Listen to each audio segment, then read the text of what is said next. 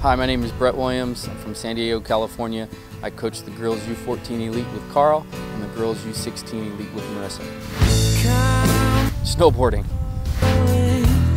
Every Saturday, as, as long as EPL is on. Fish. Love to love the ocean. Have to be scoring a goal in the NCAA Division II semifinal. Depends on the day, blue, green. Zinedine Zidane, just a playmaker in the middle. Number eight was born on the 8th. Um, when it was retired in my high school, I went to 20, so right now it's 20. I spend time with my family, go to the beach a ton, and believe it or not, yard work. Surrounded by good quality directors that I respect.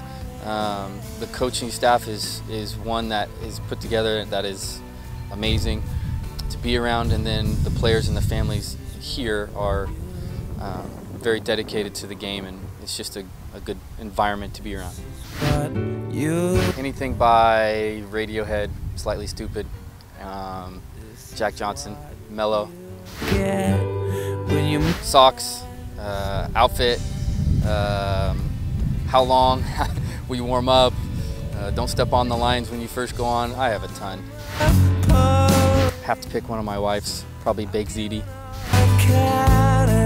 Man, you.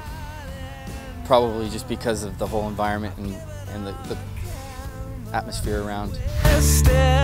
Career aspirations would be to share the game with people that love it as much as I do. It doesn't matter where it is, it just, I want to be, I want to give back to the game that gave me so much.